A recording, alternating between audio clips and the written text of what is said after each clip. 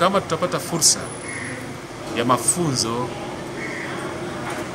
na misaada ya vifaa na kadhalika, nadhani inaweza ikatusaidia na tukaisaidia Serikali ya Mapinduzi ya Zanzibar katika azima yake hii ya kuhakikisha uchumi wa bluu unaimarika. Maanake huwezi ukaimarisha uchumi wa bluu kama swala la usalama halipo. Uchumi wa bluu, moja ya komponenti yake ni utalii na uwekezaji. Sasa uwekezaji kama hakuna usalama, maana yake ni kwamba hautawezekana.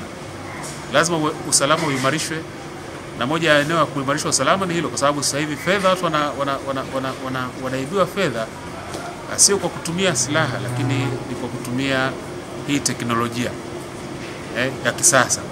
Kwa hiyo tukipata mafunzo na tukawa na wataalamu katika eneo hilo hapa Zanzibar, tutakuwa tumeisaidia kwa kiasi kikubwa sana Serikali ya Mapinduzi ya Zanzibar katika kutimiza azma yake na ndoto zake kuhusiana na and to uh, tell him uh, that uh, our consulate here is thanking him to offer the best security from the Commissioner and the Authority of Interior in Zanzibar for our local as tourism and tour, as a tourist or investors or official visitors to Zanzibar.